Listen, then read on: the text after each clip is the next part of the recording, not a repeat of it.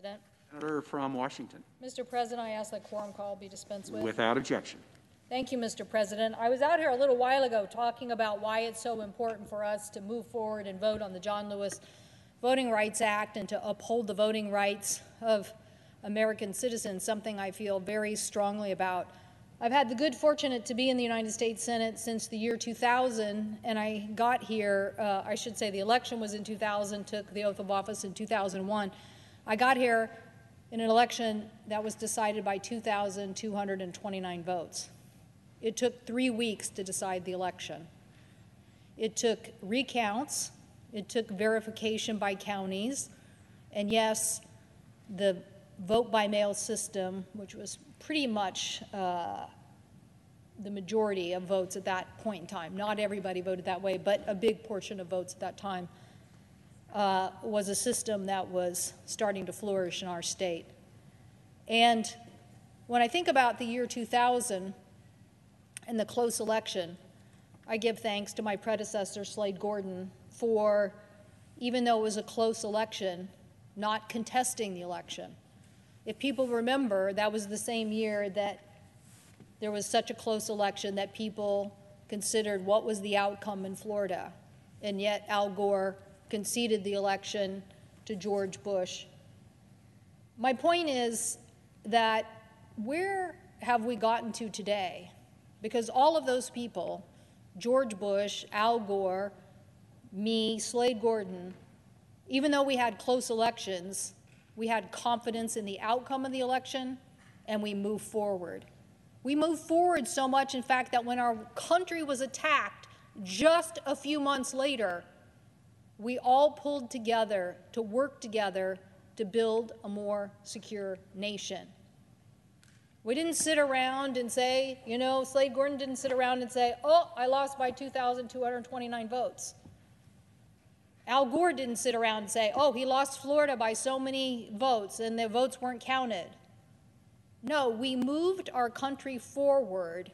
And here in the United States Senate, we even discussed voting rights and we discussed our federal role and we discussed what reforms we wanted to have in the system to build more confidence in our electoral system. We didn't disintegrate into uh, voter suppression activities. Now, I, I, can't say that there wasn't some, uh, I, I, now call it nostalgia. Uh, there were some who said, oh, yeah, vote by mail. Maybe we shouldn't have it. I remember one of our colleagues here on the Senate floor, he was, he was saying, I so much like to go into the polling place. It's my patriotic duty. I like to sign my name. I like to get on with it. I don't want to get rid of that, and I don't like vote by mail. Well, myself and uh, Senator Wyden, Senator Murray, and others successfully defended vote by mail, and we can see today where it has now been more embraced in the United States of America and more than the nostalgia that my friend had. Uh, trust me, I could say a lot of nostalgia about going into a voting place and voting. My uh, childhood was spent getting the vote out because that's what you did in my family. You spent the day getting the vote out, you helped. I remember one year I uh, said to my father I'd missed too much school and I didn't want to miss any more school, and I, I had to go to school on election day.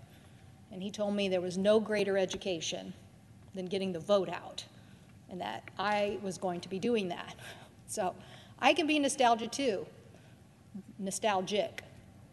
But right now, I'm proud of the 84% turnout in the state of Washington in a presidential election year, thanks to vote by mail.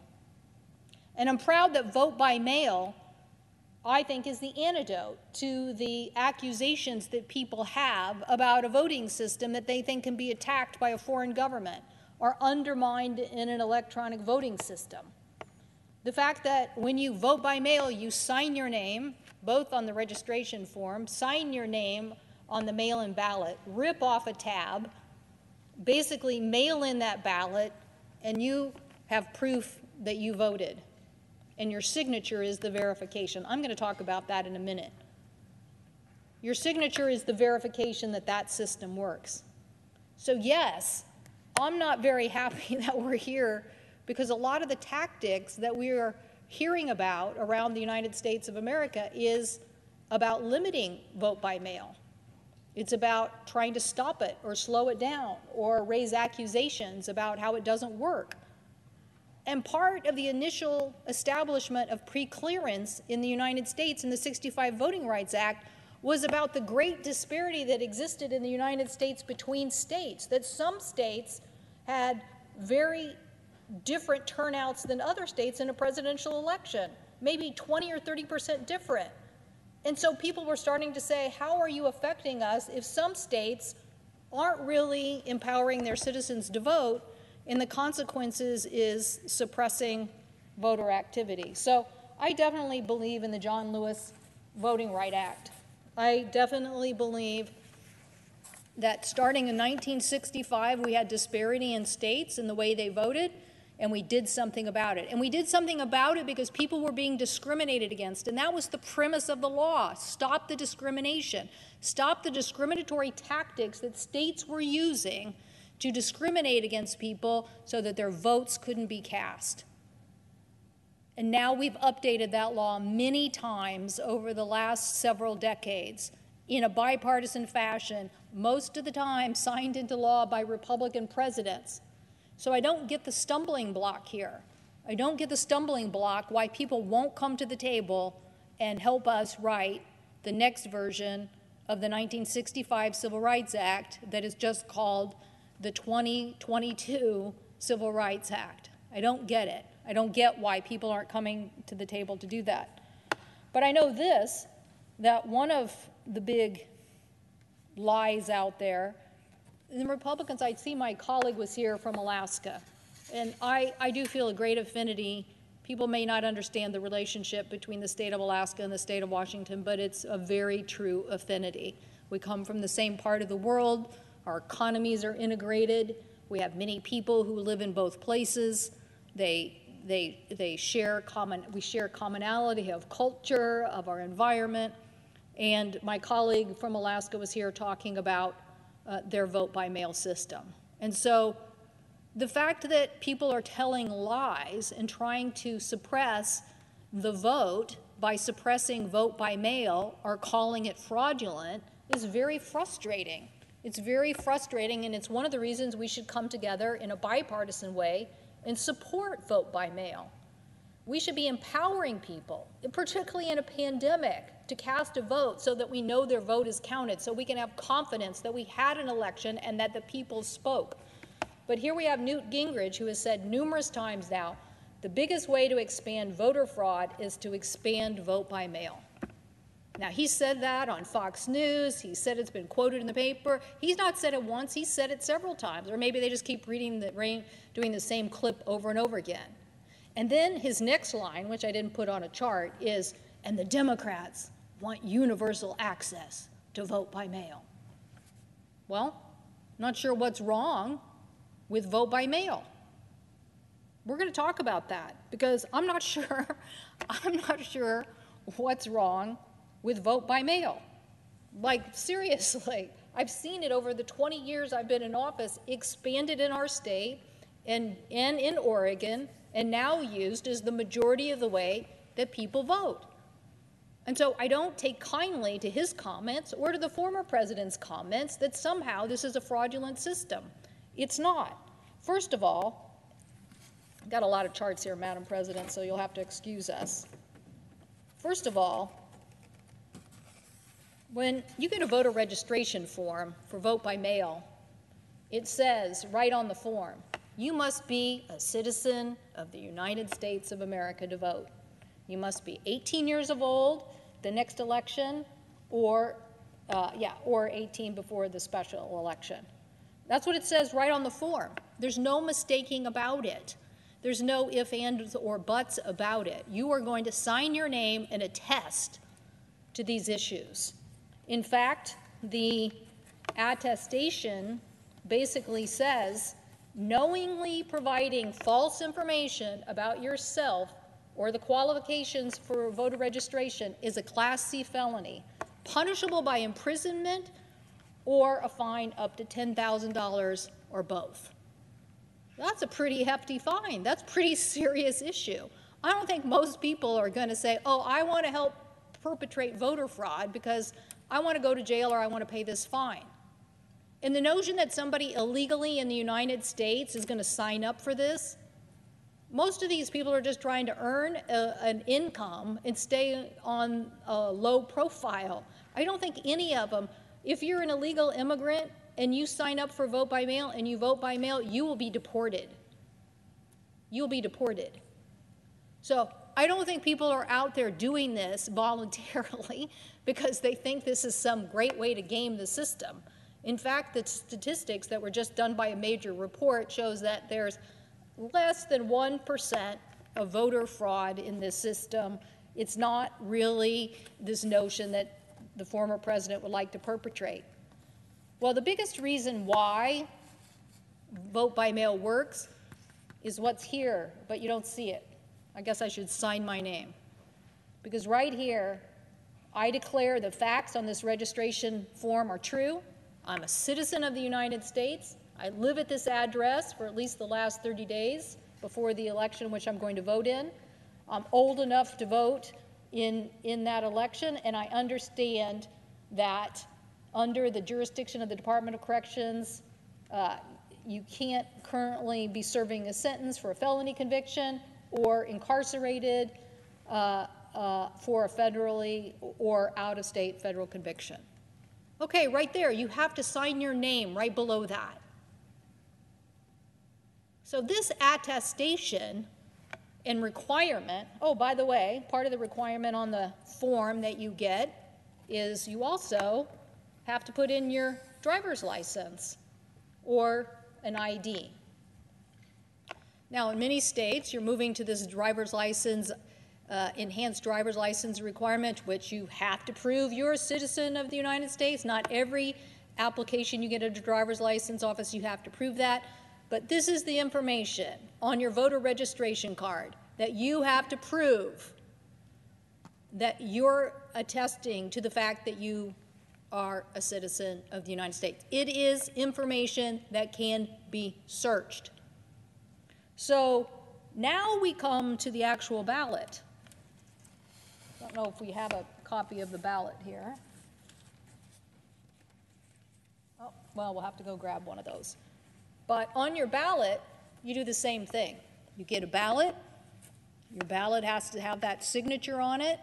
You vote who you say you're going to vote for, you put it in a privacy envelope, you stick it in another envelope, and you mail it in. So at the county auditor, they match that signature that you signed on your voter registration card with the signature on that ballot. And that is how they know you are who you say you are. Now, that's no different really from most of the way voting has worked in our country for decades. When you go into the polling place, they ask you for your name. You go to a book, if you've noticed, your name and address were there in a blank space, and they say, sign your name. Most Americans probably never noticed at the top of that page was also an attestation that said, if you're lying about who you are, yeah, you're going to pay a fine and you're going to jail. So when you went to a polling place and you signed your signature, they went back and saw if it was the signature that you had on your registration card. So vote by mail is replicating that same system.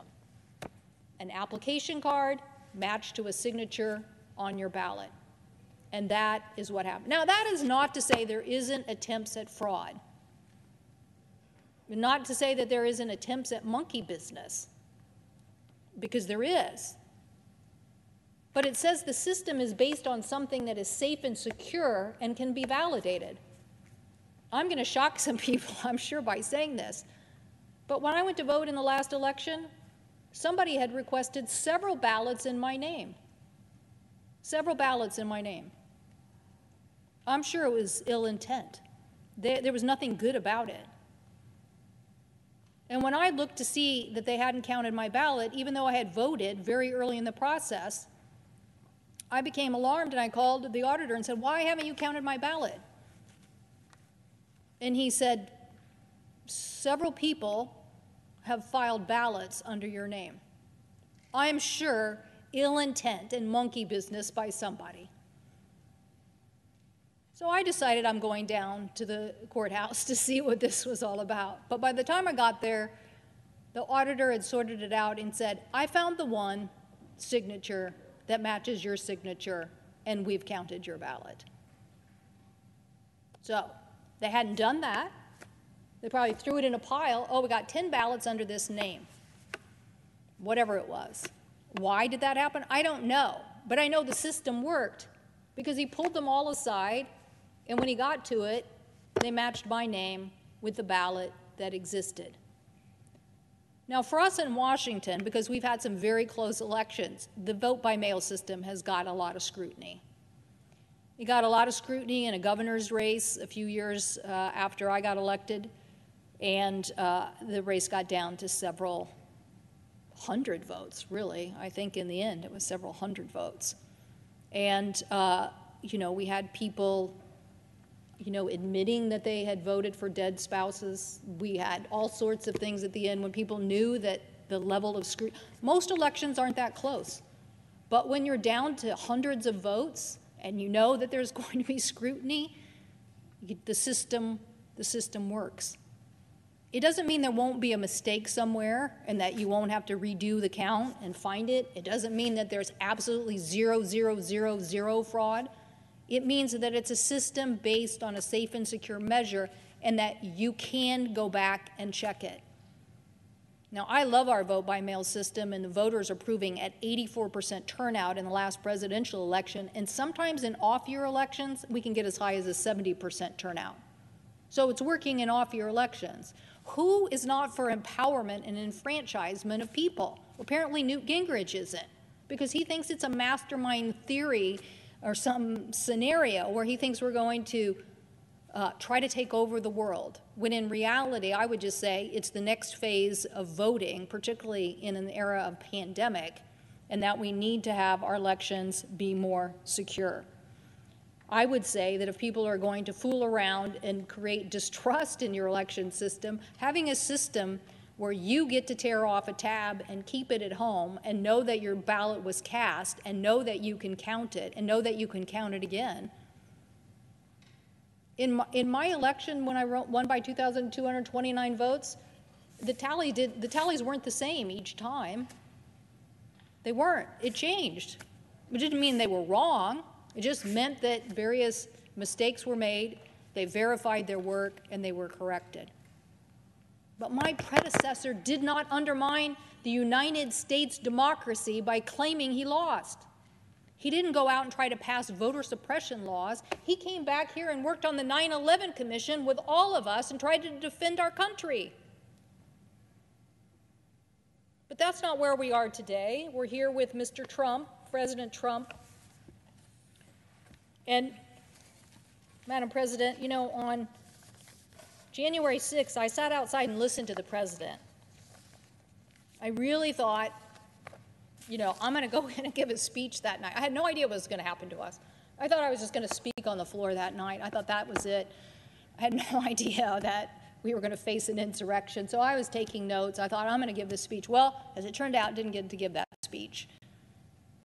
We had kind of a truncated session that night. We gave a few speeches, a few people talked, but we didn't give a big speech. So I've been waiting to give this speech for a long time. I've been waiting to repudiate what the president said at his rally for a long time. And the reason is is because I cannot stand to have our election system, the basis of our democracy, the basis of our country, why we're the gold standard around the world, I'm not sure anybody should go on a CODEL anymore to witness an election in another country until we get our election system right here. What are you going to say when you get there? Who's, who, what are you going to say if you're going to go to another country and witness their election? We know how to do it in the United States because right now we're not proving that. We're showing that we can't move forward on the John Lewis Voting Rights Act. But let's go over what President Trump said that night.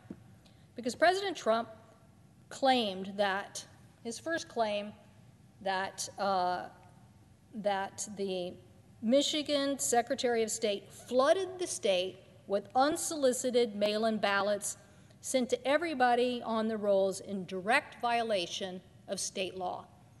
That's what he said last, that's what he said. That's what he said at his rally. That's what he said. Go down there. Go down there.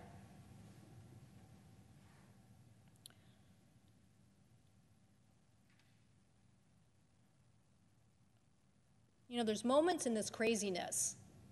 There's moments in this craziness when you realize there are people who will stand up. And I'm not trying to embarrass anybody. But I was probably the last person to leave this chamber. And the parliamentarian refused to let anyone touch the ballots. Even though she could barely walk down the hall, even though she could barely carry all those supplies, she knew that allowing anybody else to touch those certifications of the election would give somebody the claim that somehow somebody had interfered. So people were doing their job. And in this case, the Secretary of State, in response to a 2018 vote by the people of Michigan, they approved, in a vote by the people, a no excuse absentee voting law. That's what the people of Michigan voted for. So the Secretary of State sent out ballots. Some people didn't like that. Some people challenged it. And in September of 2020, the Michigan Court of Appeals upheld the decision that the Secretary of State, citing the Constitution and their authority over elections, that they had the authority to mail those ballots. The Supreme Court of Michigan didn't take up that case, they didn't refute it. So it's false. He's trying to say mail in ballot applications were illegally sent. It's not true. The people voted for it, the Secretary of State did her job, the courts upheld it. He tried to say 17,000 ballots were cast by deceased voters. Okay, I mean, to say nothing of the fact that there are some, there are probably a lot of people with the name of John Brown in Michigan. Like, what? There's lots of people by the same name. But there is a system that uses the Social Security Administration to flag death of deceased voters. And ballots in this case who have died are not counted in the Michigan election. In the state of Washington, if you cast a ballot and you mailed it and you die two days later and the election's not till the next week, your vote counts. Now, you can't mail it, your spouse can't mail it after you die and say, My wife intended to vote for so and so. No, no, no. But once you vote, once you fill the ballot out and you put it in the mailbox or a ballot box, your vote is good even if you die the next day. That's our state. In Michigan, no. So they did not do this. They, they did not have this claim that the president had. And then, then he claimed the turnout in Wayne County was 137% of registered voters, or 139%, somewhere in there. Also not true. In Wayne County, it was 61% of the vote of more than 1.4 million registered voters. So all that he said about Michigan that night was false. It was false. And the courts upheld it. And it was just a big lie. Let's go to the presiding, let's go to the president's state. Let's go to, let's go to Wisconsin. Trump claimed 170,000 absentee ballots were counted without a valid absentee ballot application. Now, the president knows that your state is infamous, famous, appreciated for same day voting. And in Milwaukee and Dane counties, a total of 170,000 people did vote absentee ballot in person in the 2020 election. They filled out an absentee ballot application, located it on the envelope like I showed, and sent in the ballot. So they know who those people are. They know that they were legitimate voters. They didn't vote without an application. They filled out the application as well. So this too is part of the big lie. And then Trump claimed that 100,000 ballots were backdated by U.S. postal workers. That's what he claimed. The U.S. Postal Service Inspector General investigation to the allegations and all of the US, USPS workers and contractors refuted these allegations. There was no evidence. There was no evidence. There was no evidence that this occurred. And then the famous thing that the other side of the aisle constantly talks about, which I just don't, I don't understand ballot harvesting. They think that some, somehow this is going to lead to, to, to ballot harvesting. So Donald Trump claimed that Madison had 19,000 ballots were collected by human drop boxes. I don't even know what box is. I don't even know what he means by a human drop box or operatives. Well, facing an influx, Madison and the city clerk held a pair of events in which people could go to a park and drop off their absentee ballots at stations set up and staffed by poll workers. What is wrong with us if we're trying to make it harder to vote in America? What is the premise? If the premise is you want to certify that people are actual citizens of the United States, great, we have a system. If you want to certify they live there, great, we have a system. We have a fine, we have a penalty, we have a way to investigate them, we have a way to catch fraud. So, what is it? You just want to make it harder to vote? No, no, no. Democracies are about enfranchising the vote. It's a constant effort. The same things we did in 1920 don't apply in 2020. In 2020, it's an information age, and we had a pandemic. What is wrong with making the vote available to people? So the ballot harvesting that he claims did not happen. That's also part of his speech that night. He went on for 45 minutes. He went on for 45 minutes whipping people up to come down here and attack the Capitol based on these lies that weren't true. Big lies that weren't true. Then he went on to Georgia.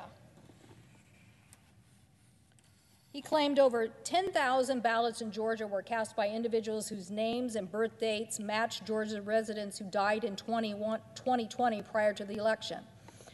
He later revised that down. He was like, oh, wait, no, that's too high. He said it was 5,000.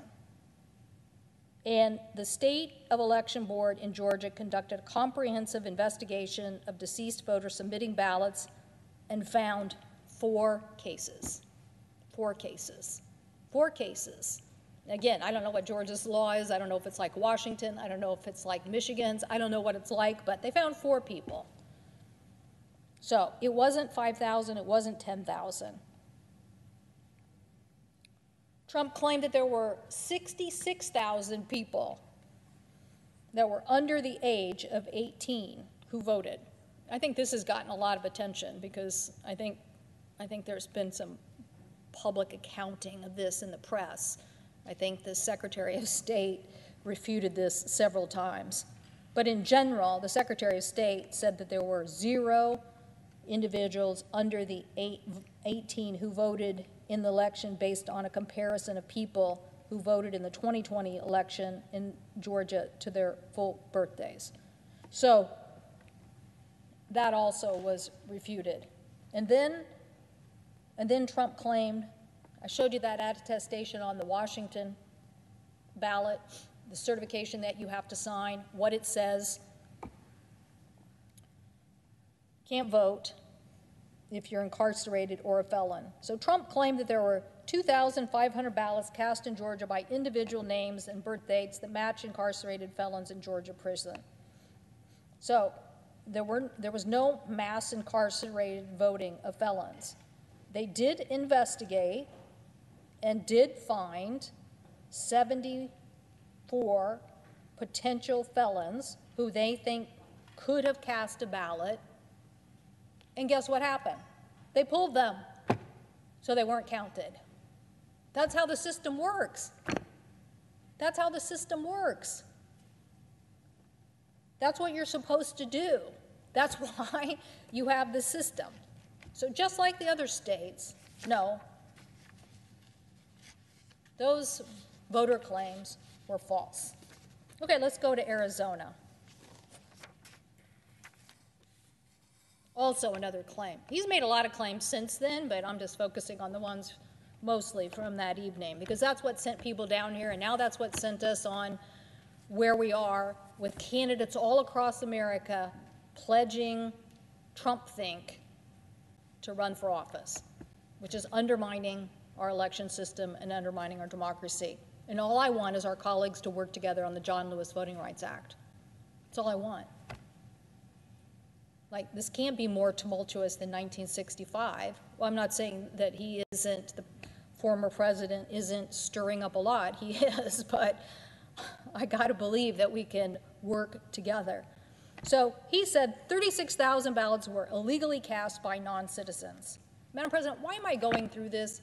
Because I get a little tired of everybody just saying, oh, the courts decided, the courts decided, he was wrong, the courts decided, he was wrong. No, no, no. People need to have faith in the system. We need to work to build faith in the system. We need to work in a bipartisan fashion to build faith in the system. And we need to stop the discrepancies between states. 2020 turnout in Washington for the presidential, 84%. Alaska, 60%. West Virginia, 63%. Georgia, 66%. Wisconsin, 72. I don't know. I think it's probably a little higher. I don't know. Pre-clearance was based on that there was 20% difference in states voting. That 20% difference still exists today.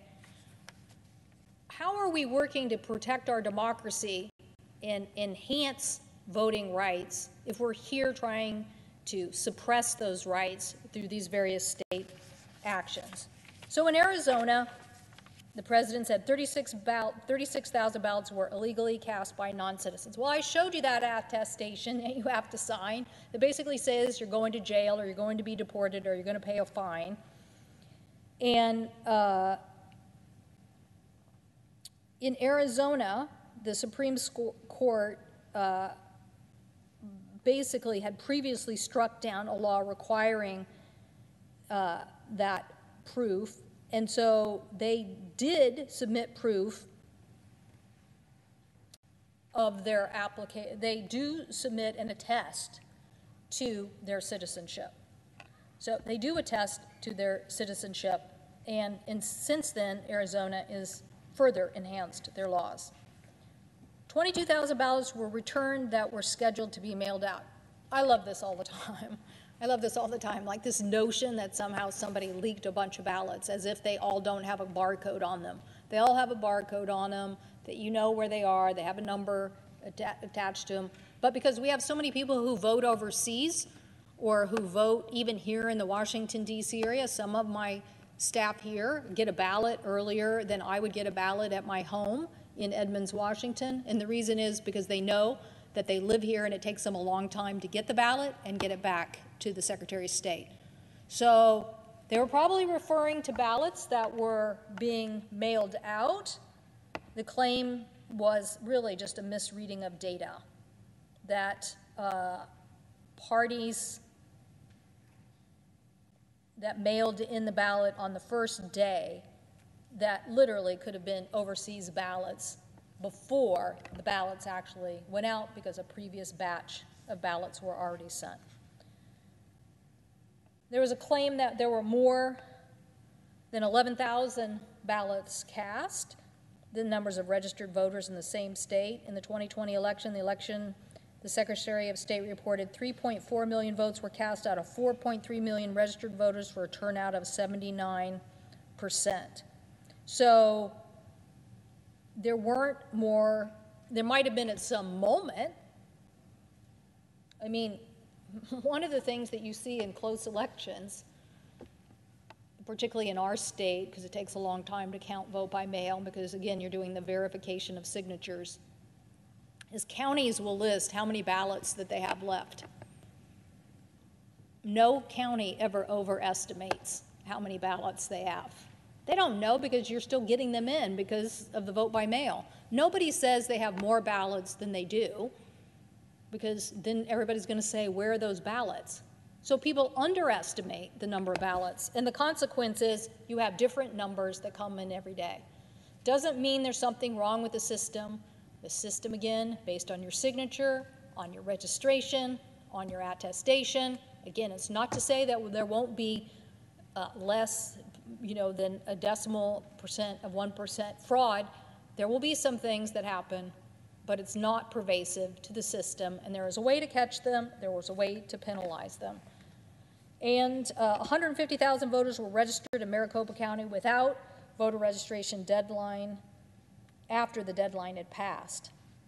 And uh, a federal judge, basically in that case, cited the impact of the COVID 19 pandemic. Uh, and there were 20,000 ballots that basically uh, were registered after October 5th. So the court legally extended that deadline because of COVID 19. So the notion that these were all illegal, you may not liked the court decision. I know the former president doesn't like the court decision, but these are what the courts decided in these cases. These are what voters decided, these are what states decided. He just doesn't like the outcome of this system. And the reason why we're here today on the John Lewis Voting Rights Act and to try to pass these laws is because our country, based on a democracy, knows that enfranchisement, voter enfranchisement, is something that we have to constantly be working for. I talked about a couple of companies earlier, but I'd like to talk about a few more if I could.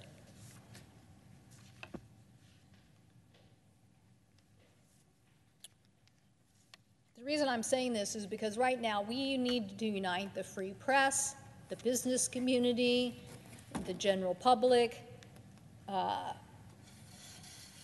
everybody we can to say, let's get behind free and fair elections, let's get behind the verification of this system, and let's strengthen the democracy we have in the United States of America.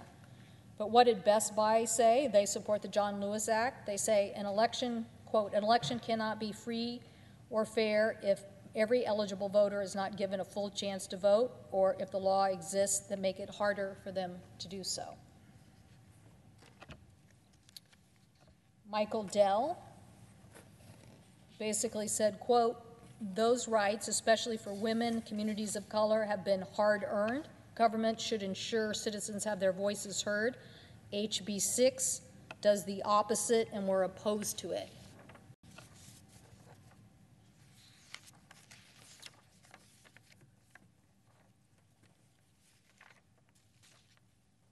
PayPal, an organization, quote, the passage of the John Lewis Voting Rights Advancement Act of 2021 is pending now in the United States Senate and will be an important step towards making free and fair access to voting a reality for all. These are all corporations who know the importance of doing business in the United States, the importance of a democracy, and they got to be scared about what they're seeing. they got people coming up on stages in rallies all over the United States basically saying, I will overturn the 2020 election. Do you think people want to do businesses in countries like that? No, people want to do business in stable countries where you have a free and fair election and you keep going. That's the, that's the beauty of the democracy. The people have spoken, as I talked about earlier. Microsoft, uh, they're really trying to rally everybody. Quote, we hope that companies will come together and make it clear that a healthy business requires a healthy community. A healthy community requires that everyone have the right to vote conveniently, safely, and securely. So they obviously they obviously get it. They know what what this is about. Salesforce another organization. They basically have said Uh, as voting rights have come under attack in places like Georgia and Texas, we have used our platform to ad- advocate for the right to vote based on nonpartisan principles and action.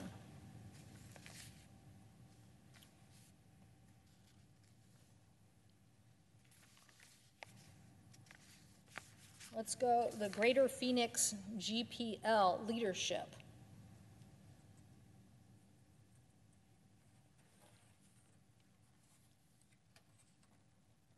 Disenfranchising voters is not election reform. These efforts are misguided and must be defeated.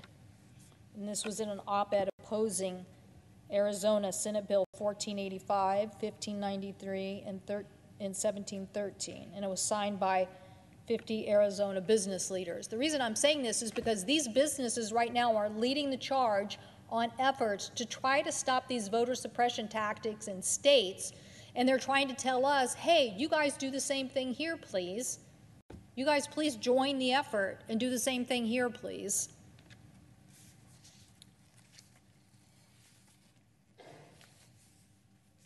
There's another, well, Coca Cola, I think they've been.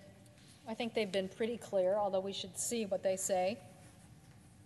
This is a statement on Georgia's voting legislation. They say, We want to be crystal clear and state un- unambiguously that we are disappointed in the outcome of Georgia's voting legislation. Our focus is now supporting federal legislation that protects voting access and addresses the voter suppression across, across the country.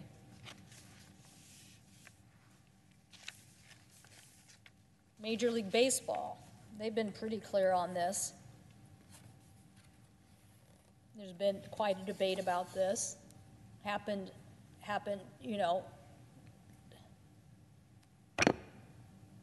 I don't know what's going to happen, Madam President, this week. I don't know what's going to happen.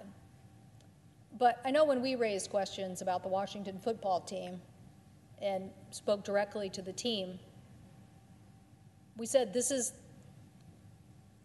this is the wrong approach. You need to change. I said, well, we don't want we don't want to. In the end, the business community, supported by many Native American organizations, the business community told the Washington team it was time to change. So the business community is telling us here do not suppress the rights of voters in the United States of America. So we may not be successful here, but I guarantee you the business community will continue to be loud about this because they know that voter suppressions and undermining democracy is undermining healthy communities here in the United States. So, Major League Baseball fundamentally supports the rights for all Americans and opposes restrictions at the ballot box.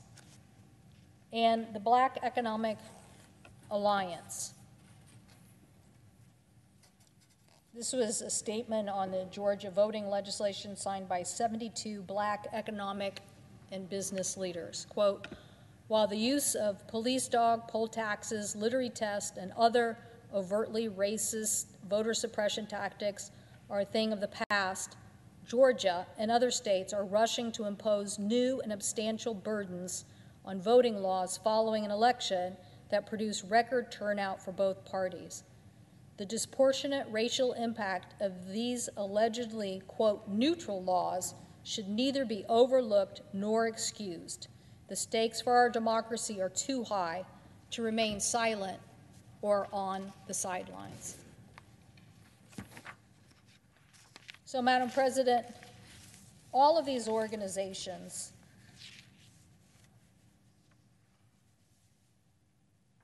I want to just end with one last one, the Civic Alliance.